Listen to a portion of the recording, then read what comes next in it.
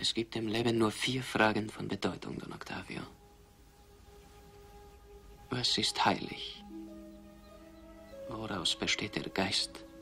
Wofür lohnt es sich zu leben? Und wofür lohnt es sich zu sterben? Die Antwort ist stets die gleiche. Nur die Liebe.